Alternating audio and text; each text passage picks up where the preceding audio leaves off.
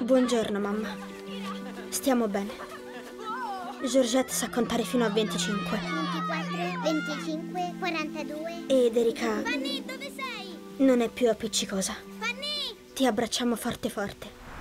Vorremmo vederti. L'arresto di Mussolini è Hanno stato arrestato Mussolini. Tutti i bambini devono partire al più presto.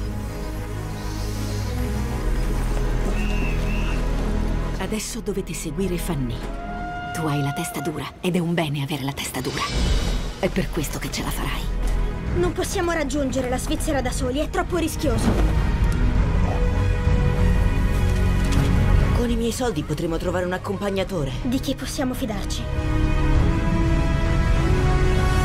Poi rifacciamo il gioco dei biglietti. Possiamo stare qui per un po'. Solo stanotte, domattina ve ne dovete andare. Possiamo contare solo su di noi.